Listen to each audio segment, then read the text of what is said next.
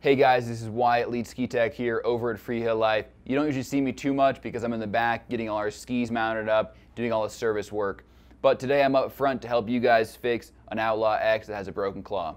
So we're gonna need two tools to get started on this. We're gonna need a Torx 20 screwdriver, optional kind of flathead screwdriver doing a little proking and prying. And we're gonna need two new parts, which would be the Outlaw Claw and good to replace the Outlaw Clock up at the same time. Both these parts you can find at Freeheel Life. All right guys, step one to replacing a broken claw, we're gonna take our Torx 25 screwdriver, we're gonna hold this claw down, and we're gonna move both the screws out of the back of here.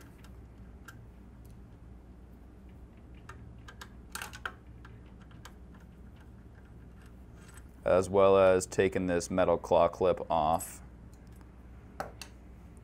As we pull these up, good chance these springs are gonna kinda get wiggled around. So you see this one kind of fell down to the side we're going to do is reseat this clip kind of around the back. You can see this lower arm goes around the slide wire. We want these two ends both facing up, ready for our, uh, our new claw. And these two ends of these springs are going to seat into these two little holes on our claw that we can kind of see here.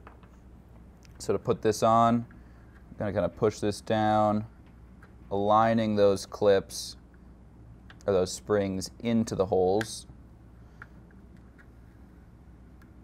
Making sure it's in there. This is a screwdriver, kind of for doing a little poking and prying. As we do this, we're gonna wanna push down and back. That'll keep the springs in seated where they're supposed to, as well as uh, letting us twist this claw back. Then we'll take our claw clip, we'll hold that down. We'll take our screw, put it back into here. Now with the new claw, we're to be cutting threads into this, so just be a little careful. Um, and we are going to plastic, so we just want to make sure we don't over torque these and uh, strip the threads.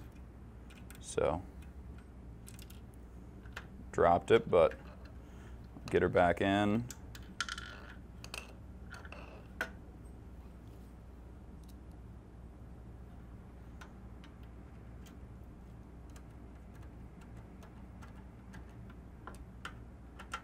Make sure she's nice and tight